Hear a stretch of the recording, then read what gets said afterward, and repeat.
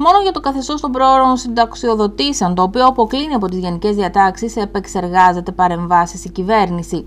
Αυτό ανέφεραν παράγοντες του Υπουργείου Οικονομικών, επισημένοντας ότι σε ουδεμία περίπτωση πρόκειται να αλλάξει το γενικό υφιστάμενο καθεστώς και να μειωθούν οι κύριες συντάξεις. Σύμφωνα με τους ίδιους παράγοντες, το καθεστώς των πρόωρων συνταξιοδοτήσεων αναφέρθηκε και ο Υπουργός Οικονομικών Γιάννης Στουρνάρας, αλλά και ο Γιάννης Βρούτζης. Υπάρχουν περιθώρια στοχευμένων περικοπών σε δαπάνες, καταργώντας, για παράδειγμα, κοστοβόρες εξαιρέσεις στο ασφαλιστικό σύστημα από τους γενικούς κανόνες, εξαιρέσεις που δεν είναι κοινωνικά δίκαιες και χωρίζουν τους πολίτες σε πατρικίους και πληβίους. Αυτό που έχω να πω εγώ είναι κάτι το οποίο επαναλαμβάνω για πολλωστή φορά, ότι καμία πλέον μείωση των συντάξεων δεν πρόκειται να επέλθει εκτός των όσων έχουμε συμφωνήσει και έχουμε ψηφίσει ως Βουλή και έχουμε συμφωνήσει ως χώρα.